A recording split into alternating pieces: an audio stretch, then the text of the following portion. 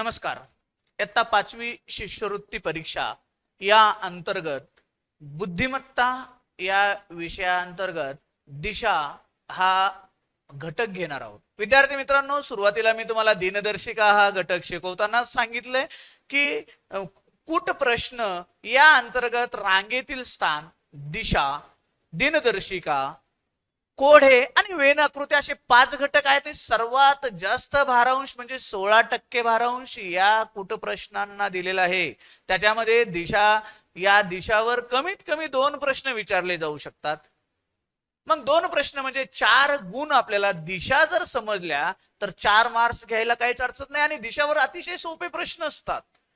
तर बघा दिशा हा घटक समजण्यासाठी काही महत्त्वाच्या टिप्स आहेत. त्या गोष्टी जर तुम्ही लक्षात ठेवल्या तर दिशा समजण्यासाठी तुम्हाला काहीच अडचण येणार नाही. अतिशय सोपा घटक आहे. चला तर विद्यार्थी मित्रांनो त्या कोणत्या बाबी आहेत त्या पाहूया आपण. तर बघा मुख्य दिशा चार आहेत. पूर्व तिच्या विरुद्ध पश्चिम उत्तर तिच्या विरुद्ध दक्षिण. तशाच उपदिशाही चार आहेत.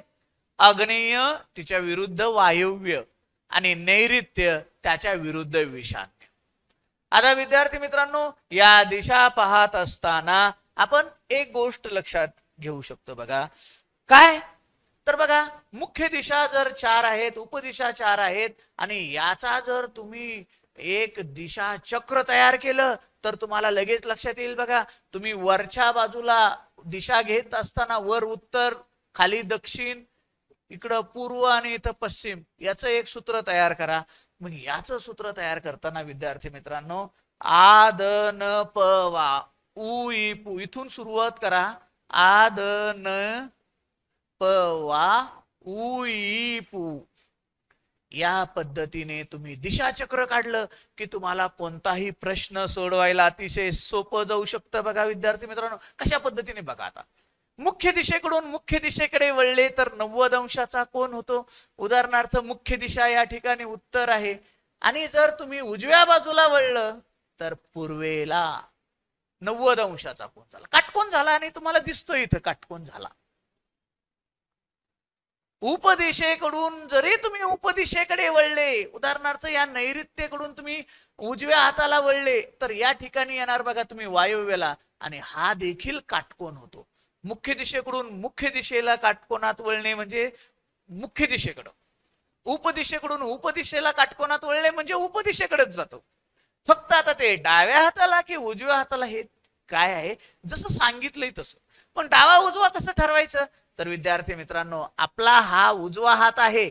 तर विद्यार्थी मित्रांनो त्या ठिकाणी आपण वर उत्तर काढायची आणि उजव्या हाताला वळलं की म्हणजे घटवीत प्रतिघटवीत घड्याळाच्या दिशेनं आणि घड्याळाच्या विरुद्ध दिशेनं अशा पद्धतीने घटवीत म्हणजे घड्याळाच्या दिशेनं.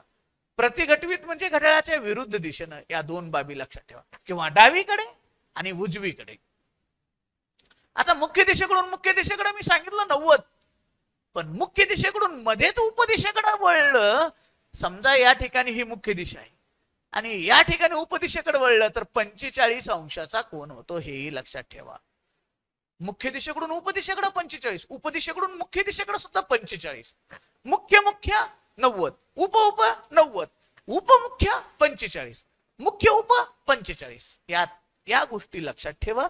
त्यानंतर पुढे बघा. तर विद्यार्थी मित्रांनो पुढे आहे कोणताही प्रश्न आपल्याला या ठिकाणी बघा आता. कोणताही प्रश्न सोडवताना वरच्या बाजूला नेहमी उत्तर दिशा घ्यावी. डावी व उजवी बाजू आपल्या हातावरून ठरवावी. आपला डावा हात ही आकृती किंवा प्रश्नपत्रिका किंवा उत्तरपत्रिका किंवा प्रश्नसंचाची कशाचीही ती डावी बाजू. आपला डावा हात आहे ना मग ती डावी बाजू तिथं. आपला उजवा हात आहे ना तर ती उजवी बाजू तीच.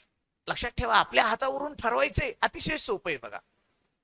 आणि मग समजा आता या ठिकाणी उत्तर दिशा घेतली आपण तर बघा विद्यार्थी मित्रांनो या ठिकाणी आपण उत्तर दिशा घेतली वर उत्तर घ्यायची घेतली. आणि मग उत्तरेला तोंड असल्यानंतर आपला डावा हात कुणीकडे येणार आहे? हा उजवा आहे. हा डावा आहे. आणि मग उत्तरेकडे तुम्ही वही कागद फिरवू शकता. मी आता फळा नाही फिरू शकत. मग मी तिकडे तोंड केलं की माझ्या लक्षात येते हा माझा डावा हात आहे. आणि मग त्यांनी सांगितलं उत्तरेकडे तोंड असणारा आपल्या डाव्या बाजूला वळला तर विद्यार्थी मित्रांनो तो इकडं वळलेला आहे. आणि मग त्या ठिकाणी ही डाव्या बाजूला वळला म्हणजे प्रतिघटवीत वळला आणि उजव्या बाजूला वळला तर घटवीत वळला. अशा पद्धतीने आपण ते लक्षात ठेवावं. मग आपला डावा हात त्या डाव्या बाजूला वळवायचं. आपला उजवा हात त्या उजव्या बाजूला वळवायचं. किंवा समोर धरून आपण कागद फिरवू शकतो बघा. अशा इतक्या सोप्या पद्धतीने दिशा आपल्याला सोडवता येतील. आणि मग या ठिकाणी डाव्या बाजूला वळला तर या ठिकाणची दिशा येणार आहे पश्चिम दिशा. लक्षात ठेवा. त्यानंतर पुढे पाहूया आपण. तर बघा.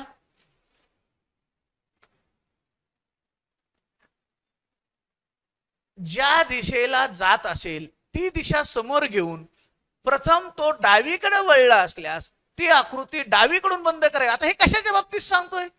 तर विद्यार्थी मित्रांनो कधी कधी असा स्कोर काढून देतात बघा तुम्हाला. कसा? तर बघा. तर असा एखादा आकार तयार करून देतात. आणि अ हा ब पर्यंत जाताना किती वेळा डावीकडे वळाला असेल? पण डावीकडे वळाला असेल. तर याच्या बाबतीत हे लागू होतं बघा. ज्या दिशेला जात असेल ती दिशा समोर घेऊन प्रथम डावीकडे वळल्या वळाला असल्यास डावीकडून ती आकृती बंद करावी. आणि त्या बाजूला येणारे कोपरे आता आपण या आकृतीत डावीकडचं काढूच म्हणजे तुमच्या लक्षात येईल. आता डावीकडे मग मग आता तू कुठं चाललाय? खाली चाललाय. मग आपला डावा हात कोणता? इकडे. मग इकडे वळला म्हणजे डावीकडे वळला. तर विद्यार्थी मित्रांनो हा कोपरा धरायचा. मग ती डाव्या बाजूने बंदच करून टाकायची आकृती. आणि मग विद्यार्थी मित्रांनो डावीकडचे येणारे कोपरे मोजून घ्या. बघा हा कोपरा त्या बंदिस्त आकृतीत हो बाहेर येतो बघा. हा धरायचा नाही. हा धरायचा नाही. मग हा एक आणि हा पण धरायचा नाही. मग किती वेळा डावीकडे वळला? तीन वेळा वळला. उजवीकडे विचारलं असलं तर विद्यार्थी मित्रांनो उजवीकडून ती आकृती पॅक करून घ्या आणि उजवीकडून पॅक केल्यानंतर उजवीकडचे कोपरे धरा. एक दोन आणि इथं तीन तीन वेळा. असा सहा वेळा वळला का नाही? तर वळला ना बघा. एक दोन तीन चार पाच सहा वेळा. मग डावीकडून वळला. डाव्या बाजूनी बंद करा. डावीकडचं विचारलं. उजवीकडून उजवीकडचं बंद करा. आणि त्यामध्ये येणारे कोपरे धरायचे. डावीकडचे कोपरे हे. उजवीकडचे अशा पद्धतीने. त्यानंतर आपल्याला पुढचं बघा. घड्याळाच्या दिशेनं वळल्यास त्याला घटीवत व घड्याळाच्या विरुद्ध दिशेनं वळल्यास त्याला प्रतिघटीवत वळला असे म्हणावे. कोणत्याही दिशेला एकशे ऐंशी अंशातून जर वळला तर पाठीमागची दिशा येते. पण एकशे ऐंशी म्हणजे नव्वद अधिक नव्वद मग एक दोन पाठीमागची दिशा. आणि तीनशे साठमध्ये वळला तर त्याच दिशेला तोंड येईल. नव्वद नव्वद चार वेळेस वळला तर त्याच दिशेला तोंड येईल. म्हणजेच दोन वेळा काटकोनात वळला की पाठीमागची दिशा येते. त्यानंतर पुढचं बघा. दिशाचक्र. आपल्याला हे दिशाचक्र माहिती असलं पाहिजे. बघा. कोणत्याही दिशेला तीनशे साठ अंशातून वळल्यास त्याच दिशेला तोंड येते किंवा चार वेळा काटकोनात वळल्यास तीच दिशा येते.